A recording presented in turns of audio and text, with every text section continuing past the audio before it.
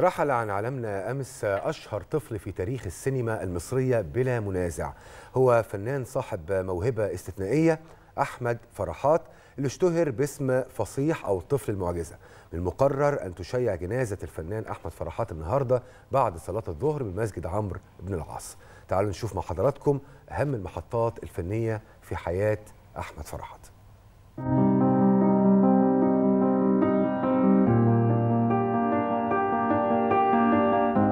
عن عالمنا أمس أشهر طفل في تاريخ السينما بلا منازع.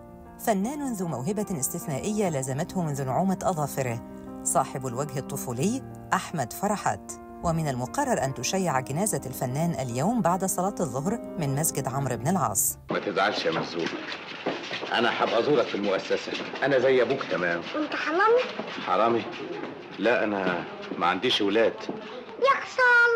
شارك أحمد فرحات في عدة أفلام خلال طفولته مع أبرز نجوم السينما المصرية حيث تمكن من تجسيد مختلف الأدوار ببراعة مما جعله من أشهر نجوم السينما المصرية في تلك الفترة.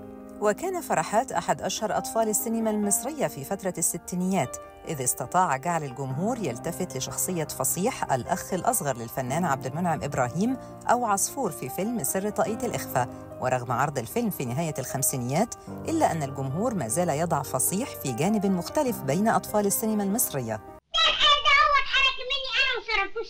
أحسن حاجة عملتها إنك سبت وانحرق العفريت الشهيد ده حبيبي وروحي وعقلي.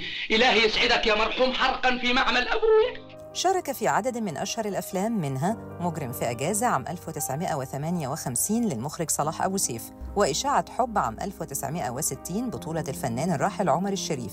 ورغم قصر مسيرته الفنية إلا أن أحمد فرحات سيظل علامة فارقة في تاريخ السينما المصرية وستظل أفلامه شاهدة على موهبته الاستثنائية وابتسامته التي لا تنسى.